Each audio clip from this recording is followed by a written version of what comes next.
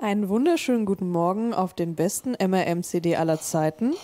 Ich hoffe, die Nacht war soweit angenehm im ruhigen Meeresrauschen und selbst wenn sie das nicht war, dann haben wir eine Lösung dafür. Sie nennt sich Koffein.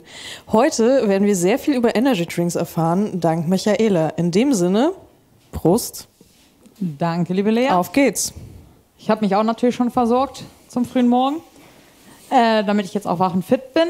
Also, da das Motto ja was mit Meer zu tun hat und jeder weiß, auf so einer langen Reise übers Meer braucht man auch Energie und wenn die Matrosen ein bisschen müde, erschöpft sind und nicht mehr rudern wollen oder segeln wollen, könnten ja Energy Drinks ja durchaus von Vorteil sein, an Bord zu haben. Also zu mir, ich besuche gerne solche Chaosveranstaltungen und seit neuer Zeit fange ich auch an, über sehr interessante Themen aller möglicher Fassion Vorträge zu halten. Meine erste Mate war relativ früh, so mit 10, 11 Jahren im örtlichen Hackerspace. Die Aussage meiner Eltern war sehr treffend. Also das Kind Coca-Cola zu geben oder eine Cola, äh, das macht sie ja voll überdreht, aber bei Mate wird sie ruhig. So durfte ich relativ früh schon Mate trinken, wo man ja Kindern eigentlich noch sagt, keine Cola, kein Koffein, weil zu jung. Meinen ersten Energy Drink hingegen hatte ich erst so mit 28, 29 in der Pandemie. Wo habe ich gesagt, so, das Zeug mag ich nicht, das trinke ich nicht, das will ich nicht trinken. Jetzt bin ich quasi abhängig und seit sechs Monaten konsumiere ich Energy Drinks in regelmäßigen und höheren Mengen. So, das Wichtigste ist am Anfang, woher kommen eigentlich Energy Drinks? Geschichtlich gesehen waren die USA da am ersten, also als allererstes, die haben schon 1949 äh, ähm, energieaufbauendes Erfrischungsgetränk auf den Markt gebracht, so hieß das damals noch, mit Koffein und B-Vitaminen. Und das erste quasi Energy Drink mit Taurin also ein sehr wichtig, ist ein wichtiger Bestandteil bei Energy Drinks, wurde nach dem Zweiten Weltkrieg bei japanischen Piloten eingesetzt, um gegen die Erschöpfung und Müdigkeit bei langen Flügen ähm, auszugleichen. Und das hat auch laut den Japanern auch bei den Seeleistungen geholfen. Dazu gibt es keine Studien, aber das wurde den Soldaten so angedreht. Und das erste Energy Drink hieß, war Lipo, Lip, Lipovitan. Ähm, und das wurde äh, in den 1960er Jahren auf den Markt gebracht von der Firma Tashio Pharmaceutical Limited. Ähm, sind 100 Milliliter Dosen, also relativ wenig, aber es war halt eben nur Taurin drin. Auch als Lipvotan D, M-Lip Lip und so weiter verkauft, also in mehreren Namen. Ist eine 100 Milliliter Flasche bzw. Dose äh, die äh, Energy Drink hat eine gelbliche Farbe. Ich weiß, die wenigsten von euch kippen aus einer Dose Energy Drink erstmal aus, um zu gucken, welche Farbe es hat. Ähm, obwohl meistens genug Farbstoffe drin sind. Und es wurde damit geworben, dass es die physischen und mentalen Leistungen steigert. Ähm, man kann das bis heute kaufen, kostet ungefähr 1 bis 1,5, 1 Euro bis 1,15 Euro ähm, beziehungsweise äh, US-Dollar, ungefähr dasselbe, je nachdem, wo man sich das her bestellt. Und es gibt sogar in Japan ein Museum dazu, zu diesen Energy Drinks von Lipvotan. Aber das machen viele Hersteller in Japan auch Museums hier singen. Sehr spannend. Was noch spannend ist, das Getränk hatte 18 Gramm Zucker, also wird ja bis heute noch verkauft, 1 Gramm Taurin und 50 Milligramm Koffein. Das ist schon mal sportlich und äh, Gesundheitsbehörden vieler Länder warnen vor Einnahme solcher Getränke aus Ostasien, weil halt eben erhebliche Gesundheitsrisiken verbunden sind. Und in Thailand ist es zum Beispiel schon verboten, äh, solche, also da kannst du sie nicht käuflich erwerben oder auch nicht einführen, weil halt eben so hohe Dosen doch letal und tödlich wirken. Ähm, als nächstes, wie sind dann Energy Drinks aus Fernost denn nach Europa gekommen? Weil amerikanischer Kontinent hat einiges gemacht, aber damals war die USA auch noch ein bisschen weiter weg. Also es gab in Taiwan, ja, müsste Taiwan gewesen sein, hoffe ich gerade, also eins der Ost äh, ostasiatischen Ländern, sorry, ähm, da gab es das Krating Diang, was so viel bedeutet wie roter Gau, das ist eine Rinderart, also wie ein rotes Rindtier. Ähm, das wird dann in solchen Glasflaschen verkauft. Das ist in Ostasien üblich, weil es quasi ähnlich wie Medikamente beworben wird, was ja auch in braunen Flaschen bis heute gibt. Und es kam in Thailand 1975 auf den Markt. Und der Eigentümer der Firma äh, ist wieder so eine Pharmaceutical, ist halt eh modern, sich Pharmaceutical zu nennen, klingt professionell und super, war Shalo Jovidia, wenn der Herr mich trifft, kann er sagen, dass ich ihn falsch ausspreche, aber der hat noch ein, ähm, eine wichtige, spielt noch eine wichtige Rolle und es ist halt eben ein Mischgetränk von Koffein und Taurin. Und wer sich jetzt die Flasche anguckt, erkennt schon einen vielleicht westlich bekannten Energy Drink Hersteller. So fand, das, fand der Energy Drink den Weg nach Europa. Der Dietrich Matschitz, das ist ein österreichischer Unternehmer, ähm, war 1982 auf Dienstreise in Thailand und in Ostasien. Hat eben gemerkt, dass es bei Jetlag hilft. Wer nicht weiß, was ein Jetlag ist, durch die Zeitverschiebung und da das Reisen schneller geht, zumindest per Flugzeug, wenn man natürlich mit dem Boot reist und Land sieht, ist der Jetlag nicht ganz so schlimm, aber wenn man fliegt, dann schon, ähm, dass es dagegen hilft. Und dann wurde 1987 die Red Bull GmbH äh, gegründet und ab seit 1994, also seit genau 30 Jahren, wird es auch in Deutschland verkauft. Ähm, was noch ist, äh, der Stier steht hierbei für die Kraft, also das Logo hat ein Symbol. Der Stier steht für die Kraft, die Farbe Rot für Durchsetzungsvermögen weil man kann sich ja mit, damit durchsetzen. Und die Sonne für Energie. Das finde ich sehr beruhigend, besonders bei so viel Sonne im Hintergrund. Ähm, es hat auch eine Anpassung gegeben. Das Original ist ein wenig süßer und hat keine Kohlensäure und das deutsche Red Bull ist nicht ganz so süß. Die Asiaten mögen das lieber ein bisschen süßer als wir. Äh, das wurde noch angepasst bei der Einführung. Und es war dann Ende der 80er, Jahr, äh, 80er Jahre in der Techno-Szene und danach auch als das in Deutschland verkauft worden ist, in der Techno-Jugend, alternativen Szene in Clubs beliebt. Ähm, und es werden 5 Milliarden Liter weltweit jährlich davon produziert, verkauft, gehandelt und getrunken. Und dieser große, nicht näher genannte Marktführer hat einen Marktanteil von 20 bis 25 Prozent davon. Also, sie haben sich durchgesetzt weltweit. So, was sind es denn? Also, man kann sich mal so einen Energy Drink nehmen und dann hinten gibt es einen langen Text. Das kann man dann schön lesen und dann wird einem erstmal komisch, schlecht und die Hälfte der Wörter kennt man nicht. Aber wir sind in Deutschland, hier gibt es, jedes Lebensmittel, jedes Lebensmittel muss einen Namen haben, beziehungsweise eine Bezeichnung, was es ist. Bekannt zum Beispiel von kleinen Joghurtbechern, wo dann draufsteht, dass es eigentlich eine Frischkäsezubereitung ist, auch wenn man denkt, das wäre ihre Joghurt. Weil wir sind im Lebensmittelrecht, da wird alles eine Bezeichnung.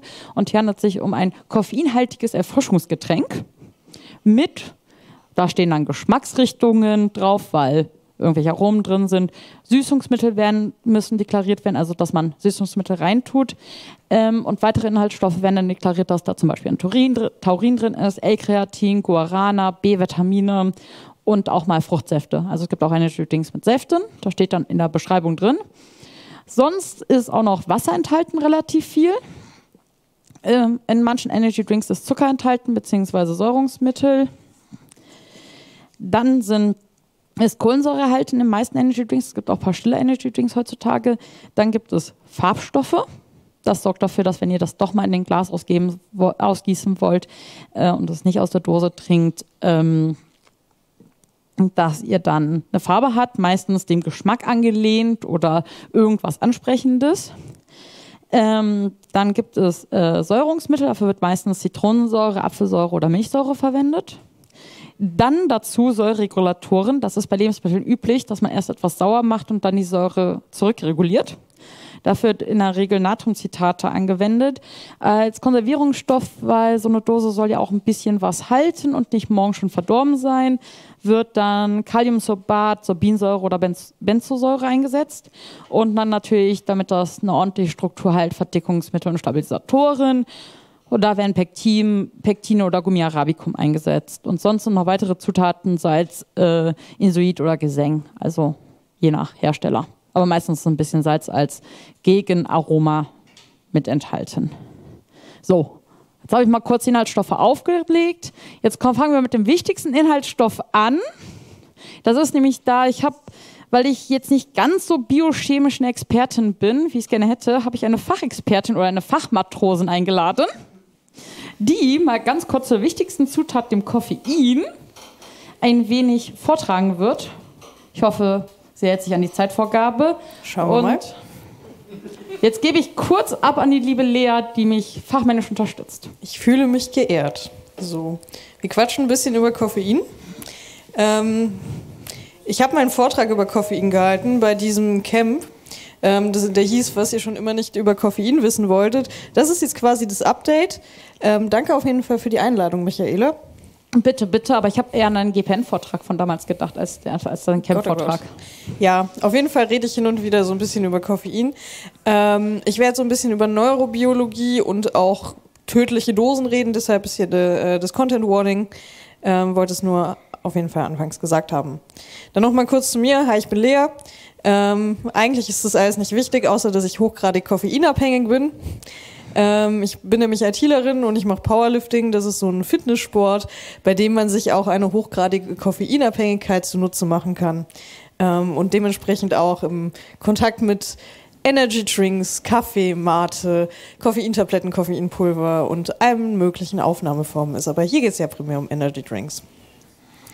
Ähm, es gibt eine Vielfalt an Möglichkeiten der Koffeinaufnahme. Wie gesagt, ähm, Energy Drinks und Konsorten in diesem Vortrag. Falls ihr noch nicht draußen in der Brackwasserkombüse wart, schaut dort gerne vorbei. Dort gibt es sehr leckeren Kaffee. Dazu gibt es auch einen Vortrag, wenn ihr euch den anschauen wollt. Der hat gestern stattgefunden. Ähm, aber eigentlich ist Koffein an sich ein weißes Pulver und in Reinform oder wie auch immer äh, geartet in wässriger Lösung oder als gestreckten Feststoff bitte konsumieren, bitte nicht pur konsumieren.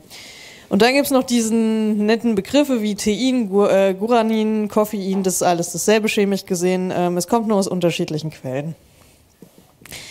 Chemisch gesehen hat das Kind auch einen Namen, Methyltheopromin oder 137-Trimethylxanthin. Das ist alles dasselbe. Ich habe den Namen hier nur drin, damit ihr es mal gehört habt und damit wir uns gleich auch noch das entsprechende Molekül anschauen können. Und Überraschung, es ist die weltweit am häufigsten konsumierte pharmakologisch aktive Substanz. Was genau die pharmakologische Aktivität ausmacht, schauen wir uns noch gleich an. Beispielsweise im Sport war es sogar so pharmakologisch aktiv, dass es eine Weile lang auch auf der Weltdopingliste stand. Ähm, und dementsprechend, ja, haben wir es hier mit was zu tun, was wir alle sehr, sehr gerne konsumieren, bei dem wir uns aber auch ein bisschen über den Effekt klar sein dürfen, den es auf uns hat. Ähm, die tödliche Dosis liegt für Menschen bei so 10 Gramm. Ähm, das ist schwierig über Getränke aufzunehmen. Und es ist ein Adenosin-Antagonist. Was genau das bedeutet, schauen wir uns gleich an. Da haben wir auf jeden Fall noch das Molekül. Ähm, ich habe es hier der Vollständigkeit halber drin und weil wir uns gleich auch noch Adenosin anschauen, damit so ein bisschen Verständnis dafür da ist, okay, wo könnte das jetzt zum Beispiel ähnlich sein. Aber gehen wir erstmal aufs Adenosin ein. Das ist im Grunde genommen ein Stoff ähm, in unserem Körper, der bestimmte Körperfunktionen über sogenannte Adenosinrezeptoren reguliert. Ähm, es gibt bisher da vier bekannte Rezeptortypen, die alles Mögliche im Körper machen. Ähm, Herzschlag, Immunsystem etc. pp. Und zwei davon sind relevant für die Wechselwirkung mit Koffein. Die allgemeinen Wirkungsbereiche von diesen Adenosinrezeptoren gehen vor allem ins zentrale Nervensystem, Herz-Kreislauf-Funktion und auch Immunreaktion. Aber gerade der Bereich Immunreaktion ist jetzt für Koffein eher irrelevant. Da sind wir eher bei zentrales Nervensystem und Herz-Kreislauf-Funktionen. Eigentlich stößt unser Körper Adenosin aus, nachdem wir uns stark körperlich angestrengt haben, weil wir ATP-Abbau haben. Ich weiß nicht, im Biologieunterricht, ATP, quasi der Kraftstoff, die Energieeinheit der Zellen. Wir strengen uns an, Körper baut ATP ab, Adenosin wird ausgestoßen. Und dadurch werden auch noch weitere Hormone gehemmt, die eigentlich eher so sagen, hey, wir brauchen gerade Leistung, wir müssen gerade pushen, wir brauchen gerade alles, was der Körper uns geben kann. Ähm, entsprechend diese Botenstoffe, Noradrenalin, Dopamin und Acetylcholin. Und die Aussage von Adenosinausstoß ist im Grunde genommen, mach mal langsam Körper, wir haben uns gerade angestrengt, wir müssen uns erholen. Ähm, in der Folge passieren so ein paar Dinge in unserem Körper. Unser zentrales Nervensystem wird langsamer. Wir haben eine geringere, äh, höhere Reaktionszeit. Ähm, unser Blutdruck sinkt, unser Puls sinkt und wir können schlafen. Oder wir sollten vielleicht sogar schlafen. Ähm, das ist Adenosin. Wir hatten eben das Koffein. Da haben wir auch diesen entsprechenden ähm, Methylring, der ja, entsprechend an den Rezeptoren andocken kann. Und da sind wir dann entsprechend auch beim Koffein. Wir blockieren die Adenosinrezeptoren damit, weil die am, äh, an genau demselben Punkt andocken. Das führt dazu, schneller, höher, weiter und wir sind nicht mehr müde, weil wir unserem Körper im Grunde genommen sagen, hey, nee, wir müssen jetzt nicht müde werden, die Rezeptoren sind blockiert, wir können weitermachen. Ähm, es gibt dann noch so ein paar weitere Wirkungen. Dadurch sorgt es im Grunde genommen dafür, also wir hatten es eben, wenn wir entsprechend Adenosin ähm, im Körper haben und die an den Rezeptoren andocken, sorgt es dafür, dass wir weniger Dopamin haben. In dem Fall haben wir dann mehr Dopamin, weil dieser Prozess eben nicht beendet wird. Es gibt auch noch so einen Neurotransmitter, der ist GABA, der ist für Entspannung und Schlaf da. Der wird entsprechend auch blockiert und dadurch sind wir aktiver, wacher. Also unsere Körper werden an sich auch aktiver, wir werden motorisch aktiver, wir werden vielleicht ein bisschen, ja, auch unruhiger, aber vor allem werden wir auch wach. Ähm, selbiges gilt für mehr Acetylcholin. Also das sind hier mehrere Effekte, die durch diese Blockade der Adenosinrezeptoren zusammenwirken. Und wir haben mehr Serotonin. Ähm, das wird vielleicht später auch nochmal relevant, wenn wir auf den Koffeinentzug eingehen. Ähm, Serotonin ist im Grunde genommen was, was auch unsere Stimmung heben kann. Und wir werden mental leistungsfähiger. Das ist dann der Effekt, äh, den wir uns auch sehr gerne beim Coden zunutze machen.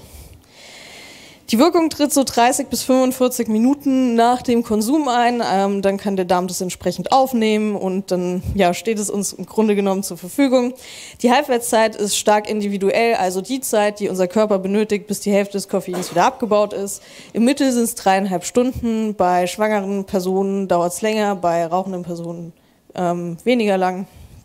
Entsprechend, ja, ist die Aussage dreieinhalb Stunden im Mittel für die meisten vermutlich eine gute Sache. Und dann kommen wir zu dem Punkt, den wir wahrscheinlich alle aufgebaut haben, eine Koffeintoleranz. Cheers. Auch da bin ich entsprechend schuldig. Ähm, höher, schneller, weiter geht halt nicht unbegrenzt. Ich habe eben schon gesagt, okay, wir hacken im Grunde genommen unseren Körper, unsere Adenosinrezeptoren, aber Körper sind sehr anpassungsfähig. Was machen die? Wir bilden weitere Adenosinrezeptoren aus. Das heißt, die Reaktion unseres Körpers ist, hey, wir wollen langsam machen, wir machen langsam, wir tun jetzt was, das wir wirklich langsam machen können. Da können wir natürlich einfach weiter Koffein draufschütten, aber das sollten wir nicht unbedingt. Ähm, wenn wir uns dann dazu entscheiden, boah, war jetzt die letzte Zeit echt mal ein bisschen viel, dann können wir entsprechend auch das Koffein weglassen. Ähm, davon kann es gut sein, dass man Kopfschmerzen bekommt, entsprechend müde wird, niedergeschlagen wird, weil weniger Serotonin da, Konzentrationsstörungen und entsprechende Reizbarkeit.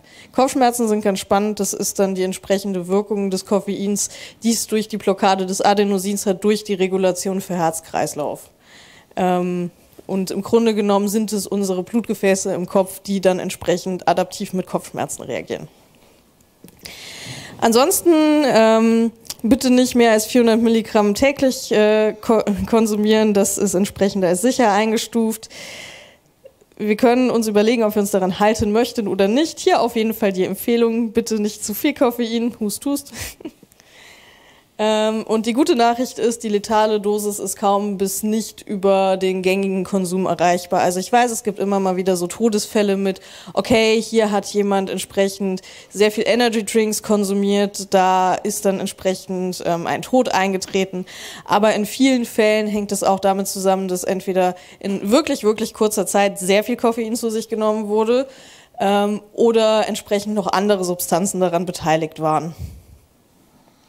Ähm, genau. Die im Mittel sind 10 Gramm.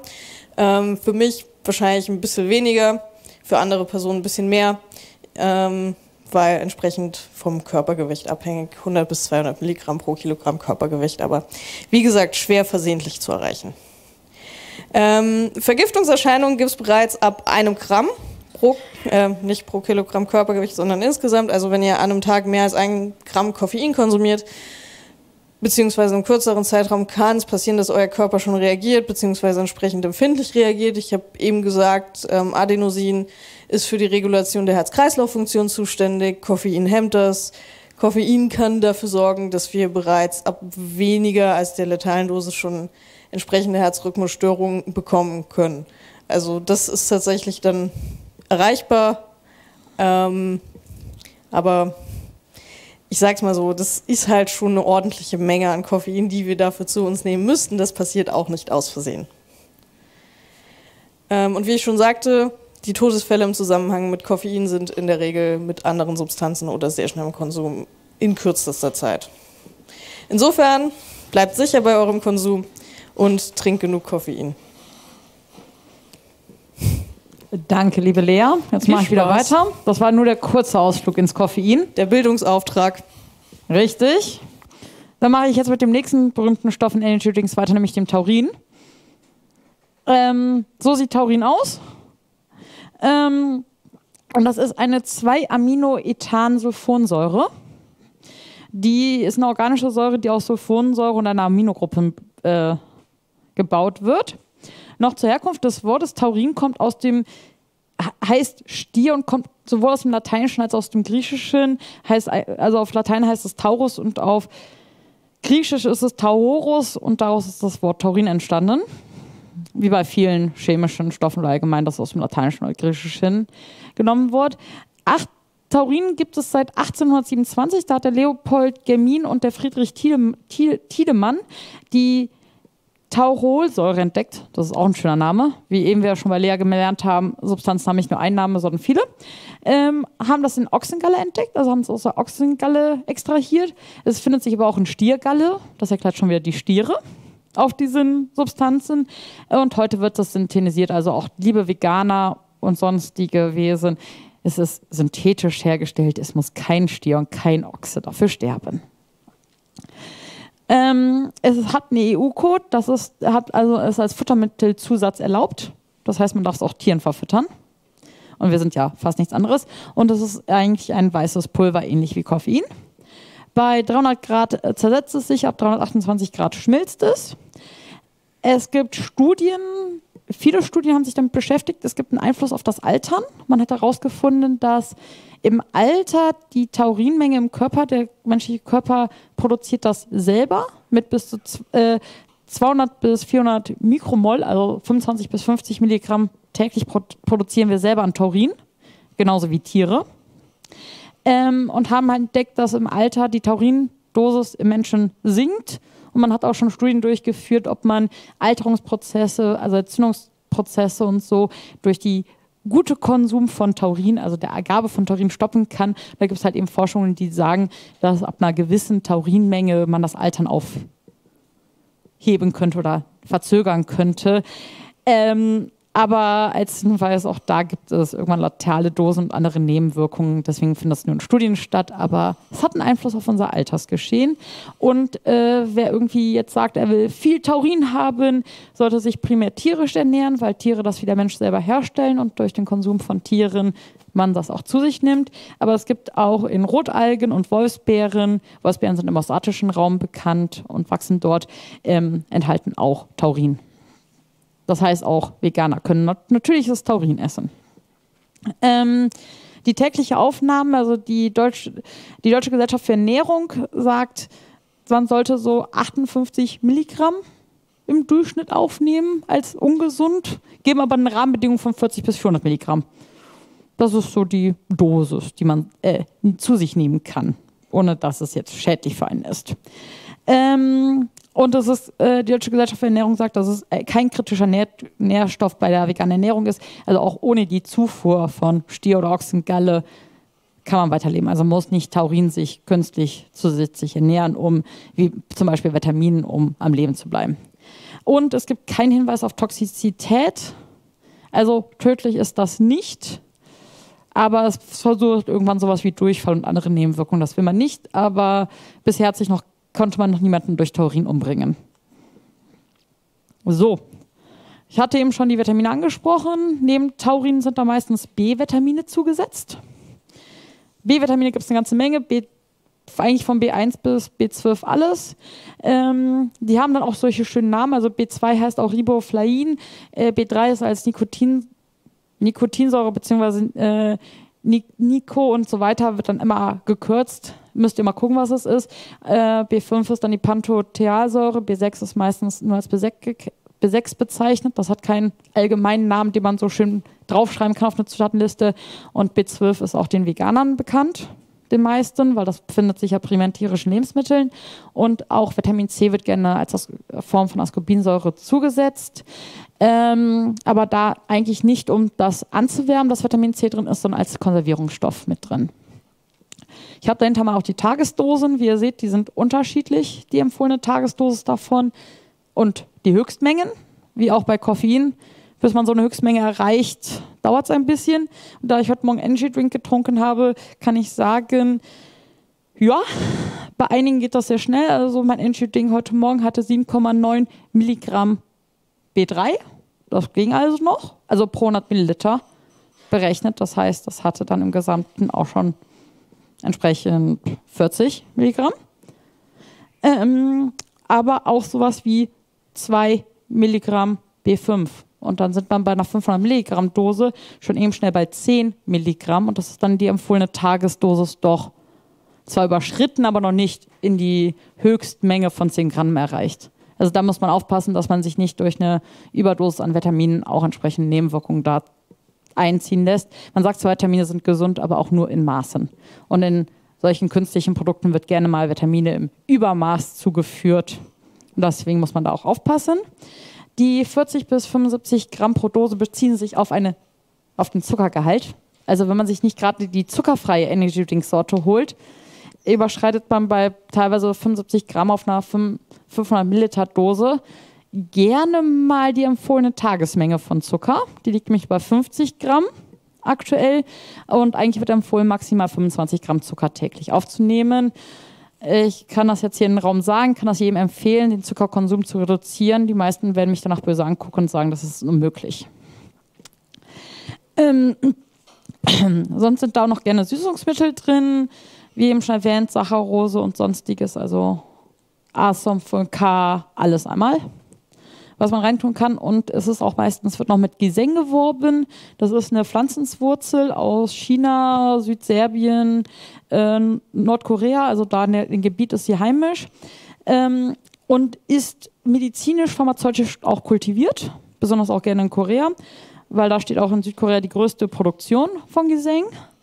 Ähm, und es ist als Kraftwurzel auch bekannt und es ist ein natürliches Potenzmittel, steigert die Abwehr von Stress. Also es hilft einem gegen stressbedingte Entzündungen oder auch Immunschwächen. Also wer viel Stress hat, hat ein geschwächtes Immunsystem.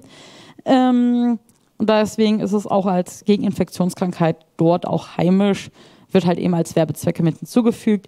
Und äh, Gisenk kann zur verlängerten Blutungszeiten äh, führen. Das heißt, wer sich morgen operieren lässt, sollte jetzt auf Gisenk einen Tag vorher verzichten, beziehungsweise den Chirurgen vorher informieren, damit er weiß, dass wenn eine Blutung existiert, warum sie so lange braucht, bis sie aufhört.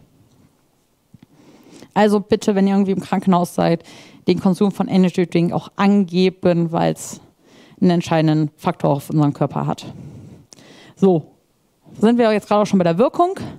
Also es gibt das leistungssteigernde Koffein, dazu gab es eben schon einen wunderschönen Teil. Es gibt die stimulierende Wirkung von Taurin. Und es hat natürlich so Energy Drinks Metalleffekte und sportliche Effekte, auch im Vergleich von nur Koffein. Also es gibt Studien, die haben halt eben nur den Koffein mit einem Energy Drink verglichen und ein paar der Effekte entstehen halt eben dadurch, dass da noch Taurin und die B-Vitamine hinzugefügt sind im Vergleich zum natürlichen Koffein. Also von den Metalleffekten die Reaktionsgeschwindigkeit wird schneller, das Erinnerungsvermögen bei Gedächtnisaufgaben werden besser. Ähm, die sportlichen Effekte hatte Lea schon eben angesprochen. Es ist nicht nur das, also in dem Fall ist es nicht nur das Koffein, sondern auch die Kraft und der Widerstand, also sowohl die Kraft als, ähm, also als anaerobe Kraft und die anaerobe Ausdauer ist dann, dass man auch mehr machen kann. Also nicht nur dann 10 Minuten joggen gehen, sondern damit auch die 15 Minuten joggen machen kann. Und es hilft auch bei Schnelligkeit und Konzentration, also bei Reaktionstest und wenn man irgendwie schnell durch eine Salon laufen muss und so, hilft das dann auch. Aber ich sollte das jetzt nicht so sehr anpreisen, weil es gibt leider auch Nebenwirkungen. Angefangen bei Herzrhythmusstörungen, das kommt unter anderem auch vom Koffein. Primär sind die Nebenwirkungen aber bekannt durch Kombination mit anderen, also entweder durch Sport oder Alkohol können Nebenwirkungen massiv verstärkt werden. Also kein Wodka Energy trinken, das ist mega ungesund. Das gilt übrigens auch dann für Mate in Kombination mit Alkohol. Nur so im Raum, weil auch Mate ist eigentlich nur ein Energy Drink. Ähm, das war nur der Servicehinweis. Ähm, ignoriert es. Ähm, Energy Drinks sind auch, weil es halt eben Nebenwirkungen hat, auch nicht für stillende, Schwangere ähm, oder Kinder geeignet. Das steht auf den Getränken auf Energy Drinks auch drauf. Ist auch verpflichtend, dass es draufsteht, ab, ich glaube, 25 Milligramm pro 100 Milliliter. Einen expliziten Hinweis, dass es nicht an Schwangere trinken sollten, nicht stillende und auch keine Kinder. Ähm, das muss man halt eben auch mal sagen. Zusätzlich wie die ähm, Nebenwirkungen, die äh, du durch Kaffee hast, weil da auch das Koffein ist, hast du auch sowas wie Krampfanfällen, Nierenversagen, gerne mal. Der niedrige pH-Wert sorgt dafür, dass der Zahnschmelz angegriffen wird. Ähm, was auch nicht gut ist, fragt euren Zahnarzt, der sieht das, wenn ihr regelmäßig Energy Drinks konsumiert. Meiner zumindest. Ähm, es kann zu Dehydrierung äh, kommen, besonders in Kombination mit Alkohol, weil sowohl Koffein als auch Alkohol wirken dehydrierend. Und wenn man das dann kombiniert, ist es nicht gut. Es können Leberschäden passieren bei Energy Drinks anhand der B-Vitamine, weil B-Vitamine in der Über äh, gibt Studien zu, dass sie bei Überdosierungen zu Leberschäden führen können.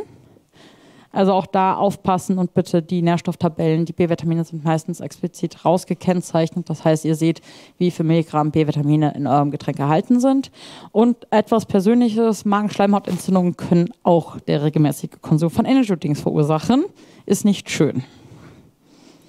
So, gehen wir nochmal kurz zur Verbreitung. Also Mate machen wir hinterher. Ich kümmere mich erstmal um die reinen Energy Drinks. Als erstes ist da neben Red Bull, damit habe ich ja schon angefangen, Monster Energy Drink zu nennen. Ähm, das kam 2002 auf dem Markt in den USA. Nach Deutschland erst 2009, 2010, also gar nicht mal so lange her. Und seit 2015 wird das von der Coca-Cola betrieben bzw. vertrieben und Coca-Cola hat auch Minderheitsanteile an der Monster, an der Firma, die Monster Energy herstellt. Es gibt 2004 kam in den USA Five Hour Energy Drink auf dem Markt. Das ist sehr interessant, weil es Energy Shots sind. Die Monster Energy werden in 500 Milliliter Dosen, also die Packungsgröße verkauft und den gleichen Inhalt hat dann Five Hour, also die gleichen Substanzen auf 100 Milliliter Fläschchen verkauft mit der Marketingwirkung. Man muss sich nicht, nicht eine ganze Dose auf den Schreibtisch stellen. Es reicht auch so ein Fläschchen zwischendurch. USA und Marketing reden wir nicht drüber. 2007 wurde dann auch in den USA äh, Energy Drink Pulver berühmt oder vermarktet und hatte einen Hype. Ähm, in Deutschland erst deutlich später und aktuell gibt es so ein, zwei Firmen, Holy ist da ein Beispiel, aber auch andere, die das gerade primär auch über die Social Medien äh, Social Media eine große Werbekampagne haben, sich die Energy Drinks selber in einem Shaker zuzubereiten hat Vorteile, weil da kann man auch dann die Dosis, besonders die Dosis zum Wasser ein bisschen variieren, sodass man vielleicht eine halbe Portion Energy Drink hat, aber trotzdem eine halbe Liter Flüssigkeit zu sich nimmt. Oder auf eine halbe Liter Flüssigkeit doppelt so viel Pulver nimmt. Ähm, was ich natürlich nicht niemandem empfehlen würde. Ähm, Energy Drink, äh, Rockstar, äh, Rockstar Energy Drink ähm, kam schon 2001 auf den Markt in, in der USA, aber erst 2008 dann in Deutschland. Interessanterweise hier ist dann äh, in Deutschland äh, und ich glaube auch in den USA soweit äh, die PepsiCo, also der größte Konkurrenz der Coca-Cola, äh, der Vertreiber. Ähm, und äh, hat genauso wie Monster damit Werbung gemacht, dass es ja eine doppelt so großes Fassungsvermögen hat wie Red Bull. Bei Red Bull wird klassisch in 52 Milliliter Varianten verkauft. Mit 500 Milliliter hast du halt eben doppelt so viel zu gleichen Preisen. Also als Geldersparnis. Ähm, noch was Besonderes, am 14. August 2012 wurde es in äh, Merriam-Webster Calling Gate Dictionary, das ist ein Wörterbuch aufgenommen, das Wort Energy Drink im Englischen. Also vorher gab es das Wort Energy Drink nicht dafür. Ähm, Seit 2017 gibt es eine modifizierte Zusammensetzung auf dem Markt. Also von diesen klassischen äh, Koffein, Taurin wurde mehr auf Vitamine gesetzt, mehr auf Geschmäcker. Also kam auch in unterschiedlichen Geschmacksrichtungen. Heutzutage kriegst du Energy Drink in allen Geschmacksrichtungen, die die Industrie so kennt. Also von Erdbeer über Limette, sonst was und auch wilde Zusammensetzungen. Ähm, es wurde auch cleaner, also man hat ein paar Substanzen rausgenommen und deutlich cleaneres Image gemacht. Vorher war das so ein, da ist irgendwie komisches Zeug drin. Es gibt Bio-Varianten und es wird auch mit der, also es wird Werbung damit gemacht, dass es auch ein mental einen, die Stimmung verbessert. Und äh, wir sind gerade noch heutzutage, ist sowas wie Gönnergy von Montana Black auf den Markt gekommen, 2023, der sehr viel als Influencer, sehr viel Werbung schon vorher gemacht hat und dann gesagt hat, er bringt sein eigenes Energy Drink auf den Markt, was natürlich bei jungen Leuten einen Hype ausgelöst hat, den zu kaufen und zu konsumieren. Ähm, und Gönnergy steht für Gönn der Energy, also Marketing funktioniert bei Energy Drink komischerweise. Selbst hier, wenn ich mir so eine Volt angucke, funktioniert das Marketing, zumindest bei Leuten, die darin irgendwie eine Batterie sehen oder so. Ähm, also ja, verbreitet und heutzutage kriegst du relativ viele Sorten im Supermarkt. Von Hersteller A bis Z, einer Geschmacksvariante A bis Z. Ähm, und ist damit sehr, sehr verbreitet. Als nächstes gehe ich mal so auf den Vergleich ein angefangen mit denen, die ich hier auch genannt habe, von unserem koreanischen Ursprungs Energy Drink in dem Sinne über Red Bull, Rockstar, Monster, Gönnergy und Holy als Pulver. Bei Holy habe ich als Varianzwert die angegebene Mischmenge, die sie selbst angeben, genommen. Und man sieht, dass der Koffeingehalt pro 100 Milliliter sich nicht gerade variiert. Außer bei der Rockstar, die hat nur 31 Milligramm statt 32. Das macht bei einer Dose mit 500 Milliliter nur 5 Milligramm Unterschied, aber wenn man mehrere trinkt, gibt es dann doch Unterschiede. Also kann man auch da den Koffeinkonsum ein wenig runterfahren, wenn man sich abgewöhnen will. Ähm langsam, immer langsam sich was abgewöhnen. Äh, man sieht, dass die zuckerfreien Varianten deutlich weniger Kalorien haben pro 100 Milliliter.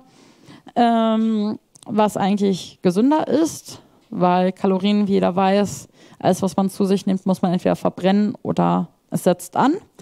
Äh, ich habe die B-Vitamine raus, auch rausgeschrieben, weil äh, die meisten haben irgendwie 2 Milligramm, außer Monster, Rockstar und Holy, die haben irgendwie weniger Vitamin B, B6. Ist aber soweit okay, weil sonst normalerweise ist es stark überdosiert, das Vitamin B6. Ähm, also auch da aufpassen, was man kauft, je nachdem, was man sonst noch sich zu sich ernährt, kann man es drauf abstimmen. Was auch äh, interessant sind, sind die Dösen, wie eben erwähnt hat. Red Bull hat klassisch 250 Milliliter bzw. 33 Milliliter. Die anderen Hersteller geben meistens 500 Milliliter Dosen und Monster gibt es auch in 553 und größeren Packungsgrößen. Auch da aufpassen. Eine Dose Energy Drink ist nicht gleich eine Dose Energy Drink. Auch das Volumen macht dann was aus. Wie man hinterher an der letzten Spalte bei den Gesamtkoffeinmengen, bei einer Dose, normale Dose Red Bull bis da 80 Milligramm und wenn dann halt eben die doppelte Menge zu dir trinkst, bis bei 160 Milligramm Koffein. Und wenn man davon dann 10 Dosen trinkt, dann ist man schon bei einem Gramm Koffein oder 1,6 Gramm Koffein und irgendwann kommt auch die letale Dosis.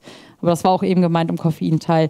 Man kann sich davon koffeintechnisch nicht so schnell wegschießen, weil der Körper braucht ein Weilchen, um das erstens zu sich zu führen und zweitens auch auszuscheiden, zu verarbeiten. Aber es geht. So, jetzt kommen wir noch hier zu den Hackerkreisen. Die wenigsten hier trinken Energy Drink, aber jeder trinkt eine Mate. Je nach Fasson, sei es Flora, sei es Club, sei es Mio, alles okay. Äh, kurz dazu, ursprünglich ist es ja, wie hoffentlich viele wissen, ein südamerikanisches Teegetränk aus den Mateblättern. Es ist ein Aufgussgetränk, das heißt, man tut sich in den Behälter eigentlich Mate-Teeblätter und gießt immer wieder mit heißem Wasser nach und trinkt. In den 1950er Jahren wurde dann Club Mate sehr populär. Erst in den Techno-Kreis und dann irgendwann durch den CCC und jetzt ist es All äh, Alltag, also gibt es überall zu kaufen und auch andere Mate-Hersteller sind seit gut zehn Jahren sehr, sehr verbreitet unterwegs und es steht nicht drauf, äh, es steht auch drauf, koffeinhaltiges Erfrischungsgetränk, aber auf Mate-Tee-Basis. Nicht wie eben auf Süßungsmittel mit Vitaminen und sonstiges, sondern auf Mate-Tee-Basis. Klingt schon mal deutlich gesünder habe auch hier nochmal kurz den Vergleich angestrebt. Ähm, Club Mate hat durchschnittlich 20 Milligramm Koffein pro 100 Milliliter. Der Mate Eis, also Club Mate Eis, die hat dann 22 Milligramm pro 100 Milliliter. Flora hat ein bisschen weniger. Ich weiß nicht, warum die ganzen Nuts auf Flora stehen, obwohl es weniger Koffein hat. Ähm, Mate Mate hat dann schon 30 Milligramm pro 100 Milliliter. Da sind wir schon eher wieder bei Energy Drink. Und wenn ihr Mate-Tee euch aufbrüht, hat er im Durchschnitt, je nachdem, wie viel Wasser ihr drauf tut natürlich und wie lange ihr ziehen lasst, sind wir bei 35 Milligramm Koffein pro 100 Milliliter. Das heißt, wenn ihr euch wirklich einen Koffeinkick geben wollt, trinkt Mate-Tee, das hat am meisten. Und ist auch, weil ihr seht, in der Kalorienbilanz dann deutlich gesünder. Und äh, die Mate Mate ist halt eben auch mehr ein Energy Drink, wie man sieht, weil es auch einen erhöhten Zuckergehalt hat, während sich Club und Flora da nichts, keinen Unterschied macht. Also wenn ihr fünf bis zehn Flaschen Mate am Tag trinkt, habt ihr so den empfohlenen Konsum erreicht an Zucker. Dann dürft ihr aber nichts mehr dabei naschen. Und der Mate-Tee ist auch hier am gesündesten, weil du kannst halt eben Zucker reintun, musst du nicht, kannst du selber dosieren, andere Süßungsmittel nehmen. Und dann ist der Energy Drink nicht nur Energie gehalten, sondern auch fördernd, dass man nicht so dick wird. Wenn man halt eben entweder auf zuckerfreie Varianten setzt oder selber Mate-Tee macht. Und als letztes habe ich noch die Volt Cola rausgesucht, weil ich weiß, hier wird die so schöne Volt Cola verkauft. Es gab letztes Jahr hier auf der MMCD einen schönen Vortrag dazu. Es ist auch ein Energy Drink in dem Sinne, weil es halt eben 32 Milligramm Koffein pro 100 Milliliter enthält. Ähm, es hat 48 Kalorien, ähm, 11,6 Gramm Zucker pro 100 Milliliter. Und die 10 Milligramm pro 100 Milliliter, die drin steht, ist der Vergleich zu normalen Coca-Cola. Normal Coca-Cola hat 10 Milligramm pro 100 Milliliter Koffein so eine Volt-Cola, die auch nur aussieht, als wäre es Cola, hat halt eben das Dreifache. Deswegen steht es auch, auch auf einer Volt-Cola drauf, nicht an Stillende, Schwangere und sonstiges abgeben. Ähm, Größe ist bei 500 Milliliter und es gibt auch Varianten mit Orange, Zero Zucker und sonstiges. Also auch da merkt man, Energy Drink ist nicht nur irgendwie etwas, was man auch als Gummibärchensaft bezeichnet, sondern es gibt es auch als Cola-Variante. Und das war's. Ich habe hier jetzt die Diskussion die jetzt mein lieber Herald mit begleiten darf. Also falls ihr Fragen habt, dürft ihr sie gerne stellen. Also erstmal einen großen Dank und großen Applaus bitte für diesen sehr informativen Vortrag. Dann würde ich an der Stelle tatsächlich mal fragen, gibt es Fragen?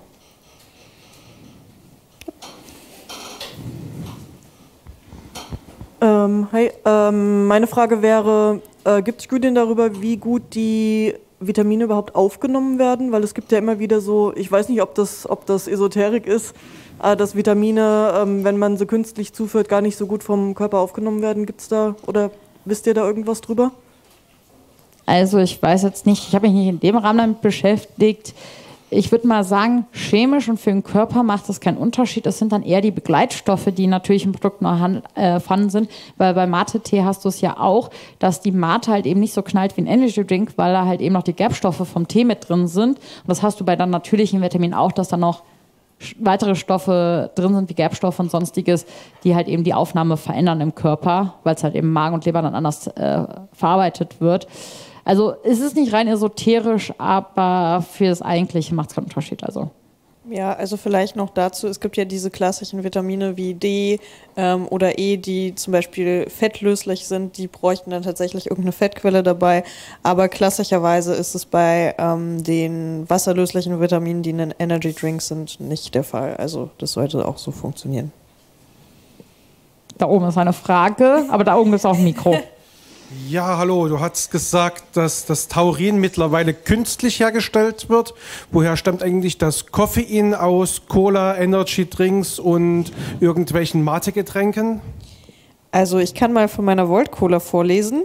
Da steht drauf, with natural caffeine. also im Grunde genommen passiert es so, dass ähm, Kaffee wird ja zum Beispiel entkoffiniert. Und bei dieser Entkoffeinierung von Kaffee fällt zum Beispiel auch das Koffein an, das dann entsprechend verwendet werden kann. Also ich glaube, die Volt Cola wirbt sogar tatsächlich damit, dass das ähm, Koffein aus Kaffee ist. Also das sind zum Beispiel mögliche Quellen zur Synthetisierung in dem Sinne. Weitere Fragen, Anmerkungen, Diskussionen? Wenn nicht, habe ich nur noch Quellen vorbereitet. Also ich habe mich sehr intensiv informiert. Und sonst muss ich an dich wieder abgeben. Ja, dann herzlichen Dank für deinen Vortrag. Es war wundervoll. Ansonsten, wenn ihr direkt äh, selbst Hand oder Zunge oder Mund anlegen wollt, gleich folgt ein Workshop zu Mate und Mate-Tasting im entsprechenden Workshop-Raum. Gerne auch mal in den Fahrplan schauen. Ansonsten, wie gesagt, gerne nochmal ähm, beim Brackwasser-Talk vorbeischauen oder in der Brackwasser-Kombüse. Und ähm, stay safe, drink some Koffein. Die Bar freut sich auch.